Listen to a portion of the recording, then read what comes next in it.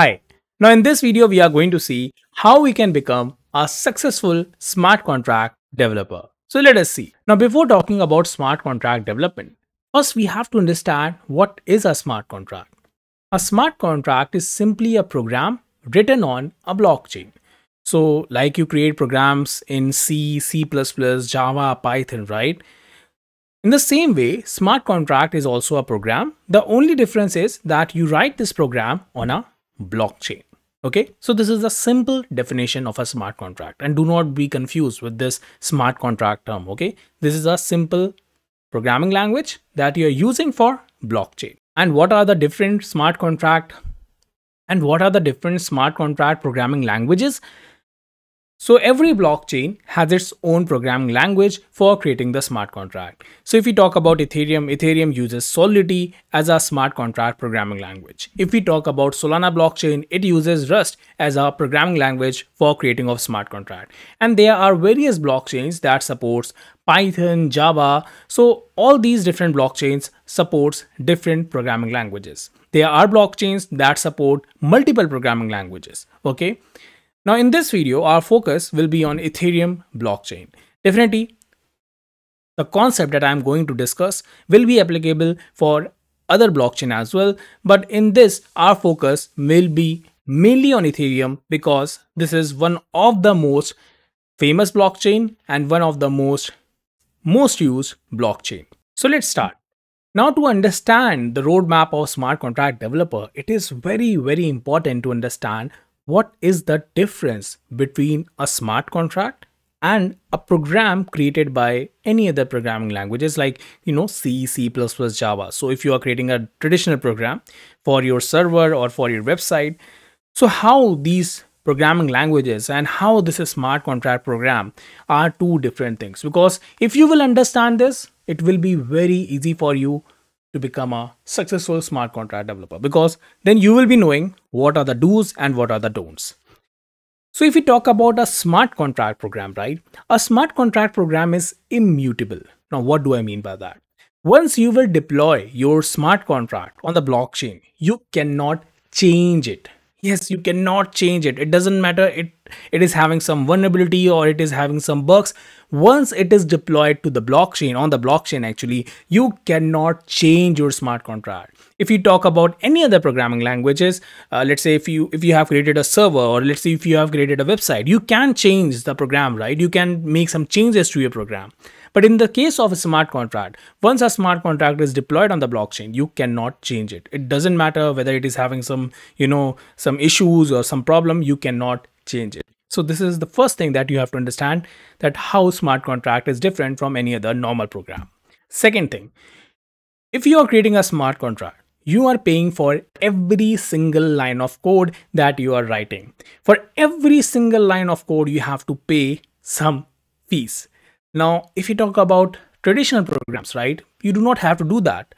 Uh, like definitely you can have a vast you know definitely it is a good advice that you should your code should have you know minimum number of codes but you are not actually paying for those number of codes right? If we talk about uh, for uh, for a traditional program. But in a smart contract program you have to pay for every single line of code that you are writing. Now this also makes smart contract different from any other programs. So first thing, immutability means once you deploy this smart contract, you cannot change it. Second thing, you are going to pay for every single line of code. Remember these two things. Now we are going to discuss how to become a successful smart contract developer. So first thing of becoming a successful smart contract developer is to understand the blockchain infrastructure for which you are creating your smart contract. Because if you will understand the blockchain infrastructure, you can save huge amount of money of your organization. Or let's say if you are you know, running a blockchain startup, then you can save huge amount of money because as we have discussed, right? In a smart contract, you are going to pay for every single line of code. But if you will understand the blockchain infrastructure for which you are creating your smart contract, then it will be very easy to save gas because then you will be knowing in which type of environment your smart contract is going to run. So first thing is understand the blockchain infrastructure. So if you are creating a smart contract for Ethereum, then understand Ethereum blockchain infrastructure. If you are creating a smart contract for your Solana blockchain, then understand Solana blockchain infrastructure. It will be very helpful in order to create an optimized smart contract. Second thing is that you need to create secure smart contract. Because as we discussed, right, that once you will deploy the smart contract on a blockchain, you cannot change it at all. And just imagine that your smart contract is having some vulnerabilities. Now, these vulnerabilities can be easily exploited and you can be hacked. So you have to be very, very, very much careful whenever you are creating a smart contract. It needs to meet all the security measures.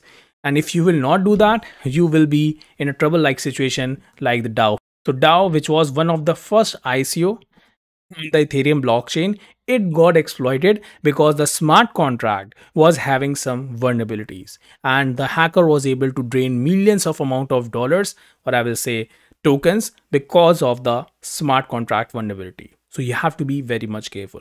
Now, how you can do that, right? Now, the second question is how we can create a secure smart contract. First thing, you have to work on your logic building. Your logic building should be strong whenever you are creating a smart contract. Second thing is you have to test your smart contract. Unit testing of your smart contract is very necessary definitely i am not saying all kind of testing is necessary but unit testing is also one of the most important thing whenever you are creating a smart contract so learn unit testing and for unit testing you can use Mocha framework. Truffle also provides you with Truffle contract library with the help of which you can test your smart contract before deploying on the blockchain. Third thing is that you need to create optimizable smart contract. Now what do I mean by optimizable smart contract? Means you need to create a smart contract that doesn't consume huge amount of gas. Now gas is a common terminology in Ethereum. You can think of gas as you know like whenever as i said right for every single line of code you are paying right so you have to create a smart contract that doesn't consume huge amount of money you know that doesn't consume a lot of money. Let me give you an example for this. So on your screen, you can see that there are two smart contracts created in Solidity programming language. This is smart contract one and this is smart contract two. I know if you are not familiar with Solidity, then it might look complicated, but let me explain you this program. This is a very simple program. I'm just taking modulo of a number 3 okay? So i'm just taking modulo of a number 3 so in this if you will see i have an integer data type and then b equal to 3 and i'm simply i'm simply taking a number that is a and i'm just doing a modulo 3 so it will return us the remainder. Remainder uh, uh, like whenever a if a is let's say 10 so the remainder when divided by 3 will be 1 right? In the same way this program is also doing the same thing. So both of these programs are doing the same thing. But one of these programs is an optimized smart contract. So take a pause and let me know in the comment section which of the following smart contract is an optimized smart contract. Means which of the following smart contract will consume less amount of gas or in simple word, which of the following smart contract will consume less of your money? Okay, so give me your answer in the comment section and then again play me back. So I hope you have tried, right?